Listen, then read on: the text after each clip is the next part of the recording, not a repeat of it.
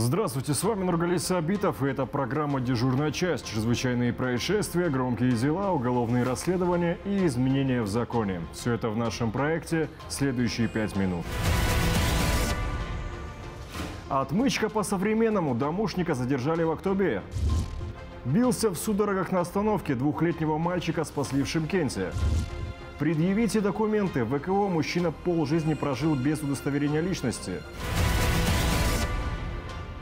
Трагедия в Костанайской области. Там утонули две девушки 16 и 18 лет. Они отдыхали на природе вместе с родителями, сообщили в ДЧС. Семья расположилась рядом с рекой Аят. В какой-то момент две девушки исчезли. Родные вызвали спасателей. Через несколько часов были найдены тела погибших.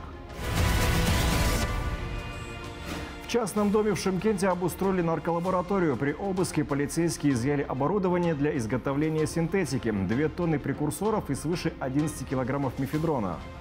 По данному факту возбуждено уголовное дело, проводится досудебное расследование. Подозреваемые взяты под стражу. С начала года сотрудниками полиции Шимкента из незаконного оборота изъято более 35 килограммов наркотиков, 20 из которых синтетического происхождения. 18 свертков синтетикой обнаружили полицейские у жителя Караганды. 39-летнего мужчину задержали по подозрению в хранении сильнодействующих наркотиков в особо крупном размере.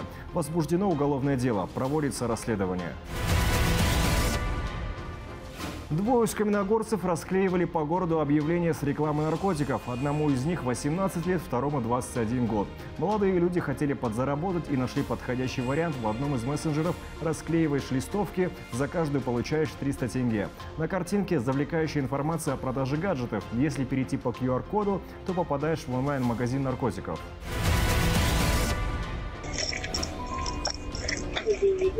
Двухлетнего мальчика спасли патрульные Шенгента. Они проезжали мимо, когда увидели, что ребенок на остановке бился в судорогах. Испуганная мама не знала, что делать. Полицейские поспешили на помощь. Они быстро перевернули его на бок и оказали первую помощь. Через некоторое время припадки у мальчика прекратились. После этого малыша и маму за несколько минут доставили в больницу.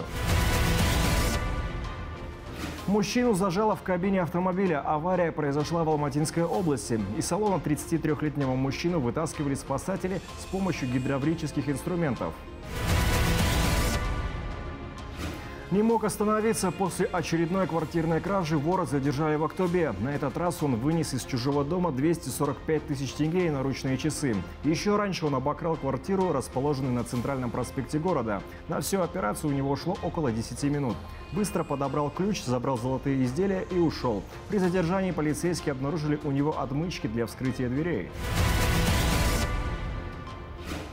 Более 30 лет без документов прожил восточно-казахстанец. Полицейские помогли 56-летнему жителю Тарбакатайского района воссоздать свои данные и получить удостоверение личности. В процессе они выяснили, что у него имелось свидетельство о рождении. Мужчина рано потерял обоих родителей, и им некому было заняться. А потом он, как рассказывает, на это не хватало времени. Теперь он может полноценно получать социальные и медицинские услуги, зарегистрироваться в пенсионном фонде. Полиция Алматы призывает водителей мопедов и мотоциклов не нарушать правила тишины. От громкого рева этих транспортных средств больше всего по ночам страдают жители массива, чьи дома расположены неподалеку от магистралей. В мегаполисе предупреждают, что нельзя использовать громкие глушители на своем транспорте.